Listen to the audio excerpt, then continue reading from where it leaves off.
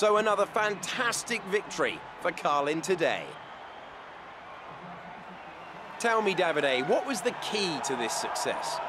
The difference was in the strategy. Credit to the driver for sure, but races like this really drive home how much of a team sport this is.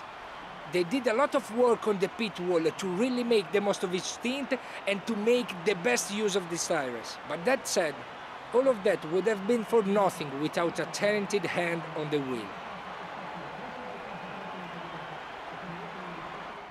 And there you have it, today's winners. Having raised some of the biggest names in F1 to date, Carlin have once again shown their expertise when it comes to recruiting new talent.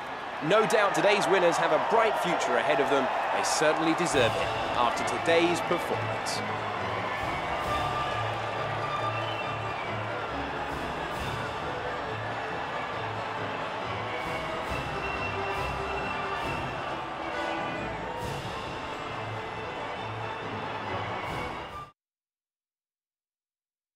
And so, driver of the day then, Davide Valsecchi, who do you think you'd go for? Let's give it to Sérgio Sette Câmara. That was a commanding performance today. Very impressive indeed. After all this drama, you'd be mad not to join us for the next race. We hope to see you then.